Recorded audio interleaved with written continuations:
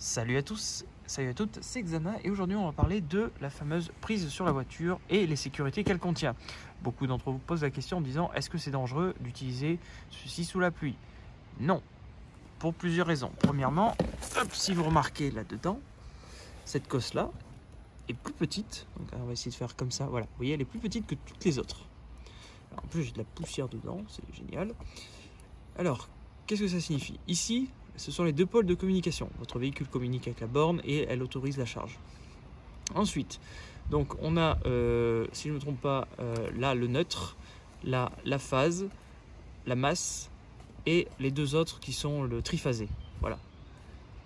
Phase, triphasé. Voilà, les trois là, c'est pour triphasé.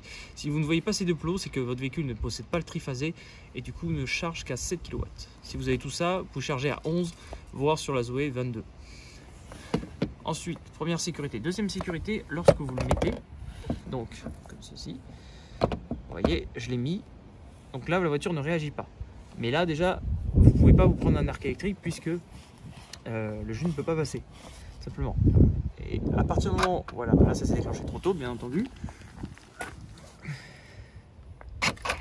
Voilà, à partir du moment où on l'insère comme ceci, il y a un temps d'attente Je crois que là, il n'a pas compris. Vous voyez, là, il y a un temps d'attente. 2, 3, 4, 5, 6, 7. Et voilà. 10 secondes. Qui est à peu près la communication à basse tension entre la borne et la voiture. Donc en gros, la voiture communique avec la borne lui dire envoie-moi un peu de courant, je teste ta masse et si elle est correcte pour moi, je peux t'envoyer le courant. Et du coup, c'est ce qu'elle fait. Et après, la charge démarre. Donc au passage, Véotronic, très bonne borne, on peut régler la tension. Donc là je suis en tac, 20 ampères, c'est suffisant. Voilà, j'espère que cette petite vidéo vous aura plu et à bientôt pour une nouvelle vidéo. Ciao